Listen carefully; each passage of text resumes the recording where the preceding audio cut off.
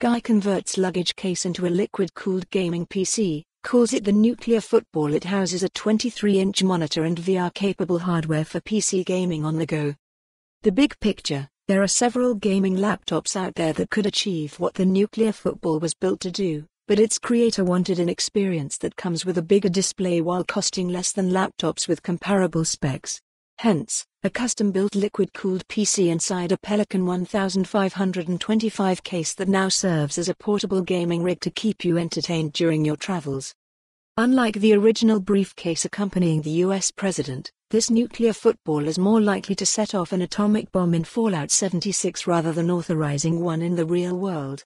Its creator, who goes by the name of thegarbz on Reddit, goes into detail on how his traveling routine led to the creation of this custom-built PC.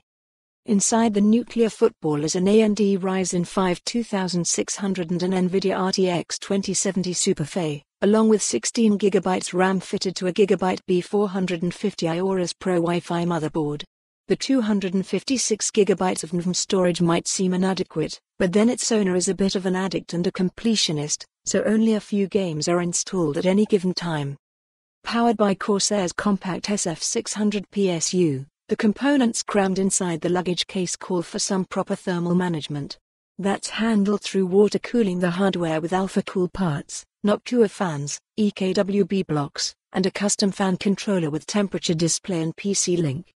The display comes in the form of a Dell 23-inch monitor, chosen from among 45 displays, for its thin bezels, beveled bottom edge, and front accessible buttons.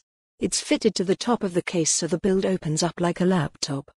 Given that the bottom side of the case is occupied as well, there's no room for a built-in keyboard inside. However, the front features plenty of ports for connecting peripherals, including a VR headset for enabling the full desktop gaming experience. At 12.1 kilograms, the nuclear football is strictly meant to be used on a desk, and its portability is also affected by the lack of an onboard battery. It is, however, convenient to lug around most places and, more importantly, highlights the flexibility of the PC platform and users' creativity in designing a machine around their use case. For more on this story, visit the news article link.